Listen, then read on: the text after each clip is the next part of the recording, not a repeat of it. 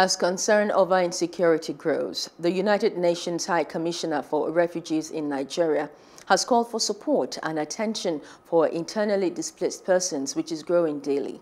The senior external relations officer, Roland Schönbauer, who was on a courtesy visit to Plus TV Africa newsroom in Lagos, highlights some of the emotional trauma victims face despite UN support.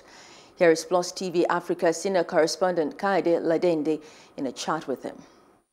Agency UNHCR targets about 600,000 internally displaced persons in the year 2020 for aid and support. 63,320 refugees and asylum seekers and about 60,000 refugee returnees.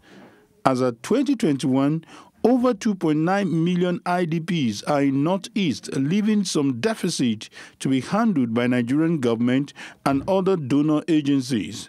According to Roland, the agency is committed to making a difference in the lives of these persons. We at UNHCR work for people that are forced to flee their homes, be the Nigerians that are driven out of their homes, out from their fields because of insecurity in the northeast, but also in the northwest and in the middle belt.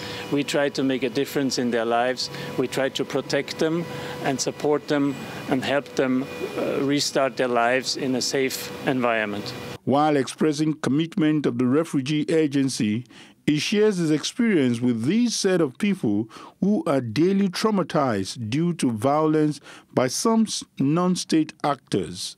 Internal displacement is really a, a, serious and growing issue in Nigeria, and it's, it's really worrying.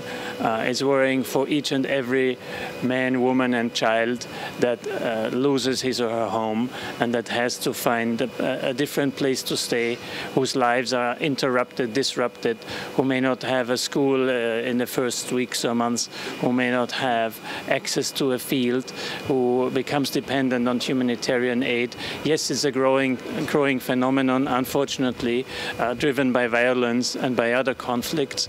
And we estimate that about 2.9 million uh, Nigerians are internally displaced in your nice country.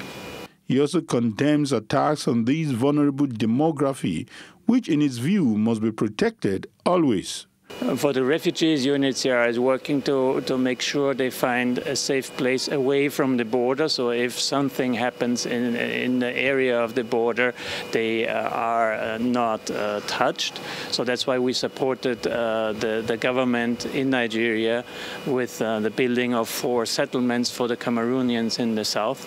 But when it comes to the IDPs uh, in the northeast and the northwest, yes, their camps are often attacked attacked uh, and uh, security uh, is not enough. As the internet is still buzzing with comments about Plan B, which has to do with fleeing the country due to increasing incidences of insecurity, the call here is to change the tide by providing adequate security to prevent a worse humanitarian crisis.